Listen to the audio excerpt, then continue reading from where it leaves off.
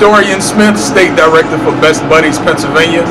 And I love being the State Director for Best Buddies Pennsylvania because I get to impact more than 50,000 lives in the state of Pennsylvania for students with intellectual and developmental disabilities by providing them with a framework. Thank you.